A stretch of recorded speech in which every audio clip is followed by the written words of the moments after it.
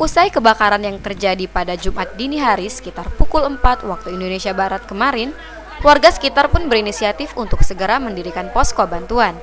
Hingga hari ini, Sabtu 11 Agustus 2018, bantuan dari masyarakat, organisasi, dan kelurahan berupa bahan makanan, uang, dan pakaian mulai berdatangan di posko kebakaran.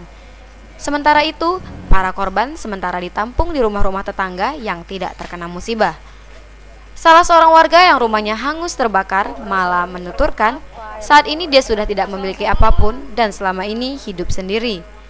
Dia terpaksa mencari kenalan yang bisa untuk sementara ditumpangi, sebab malah tidak mempunyai uang jika harus menyewa tak tahu apa-apa aku tahu tak sadar lah langsung ya nggak tahu lah gak mikirin itu ini pak pokoknya aku jalan pun udah kelentang kalentong aku bingung ke mana gimana suara pun tak ada biasa kan?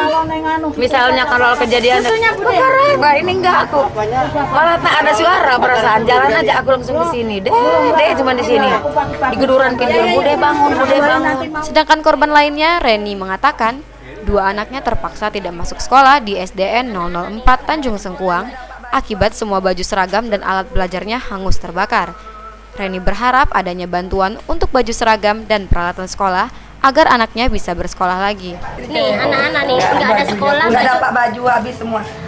Beli baju kemarin kenaikan kelas yang baru udah habis lah semua. Jadi sementara di mana ibu tinggal? Belum? Belum ada ya. Belum ada. Sekarang, sekarang ini bantuan apa yang udah diterima? Hah? Bantuan apa yang udah diterima sekarang ini? Makan aja tadi makan siang oh gitu. satu bungkus.